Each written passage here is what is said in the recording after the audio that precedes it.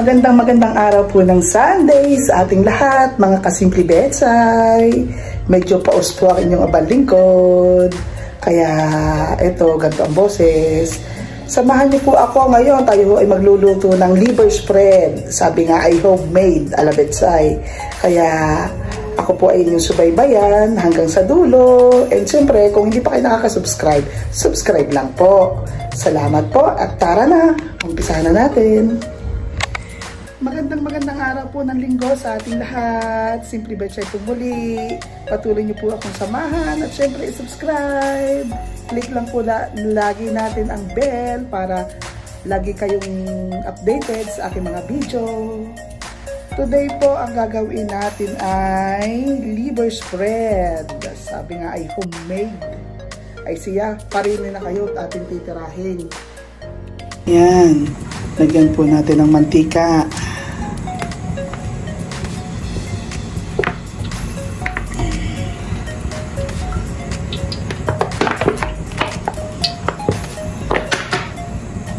Then, sunod po natin ang bawang. Ganyan po madami. Mas madami, mas masarap.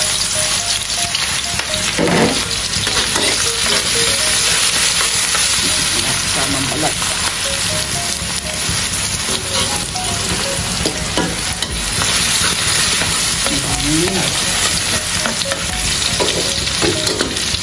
Then, nasunog na. Isupisulit naman po natin itong sibuyas.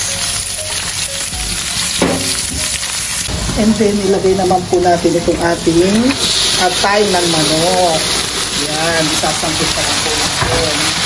Lagyan po natin ng asin.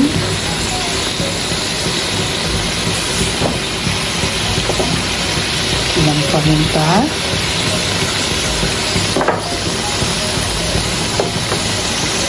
Ng garlic powder. Lagyan din natin ng dahon ng laurel para pampatanggal ng lansa. Yan, hindi po natin siya laging hinahalo. Hayaan po natin siyang mag-evaporate ng mabilis para hindi siya madurog at hindi gumansa. Smoke ang living pour, malapit ng maluto. Patakan natin ng dalawang patak ng evaporated milk. Yan. Para maging creamy yung lasa niya. Ready na. Gigilingin naman po natin ngayon para siya maging creamy. Tatanggalin lang po natin itong mga dahon ng laurel. Start po tayo magiling. Sagay po natin dito. At ating papandarin.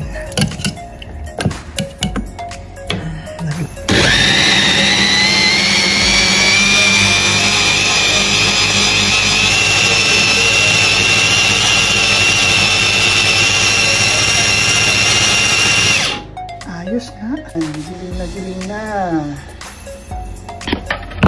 Tamo.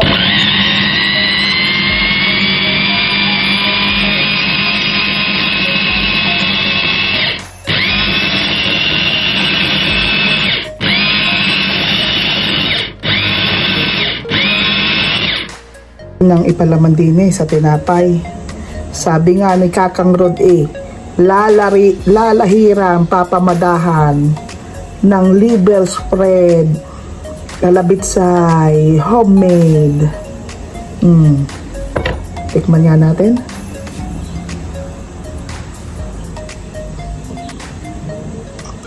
Yes, panalo ang lasa. I hope ang ating mga nagawa, yan, ipipreser po natin, isang punong tab at saka mataas na kalahati din eh. Mm. Di kay ayos, kaysa sa bibili ng Reno, nakaw, abangan nyo sa sunod, kaldereta naman, hindi ko nga lang masabi kung kailan. Mm. Siya, kakainin ko na rin isang, mm,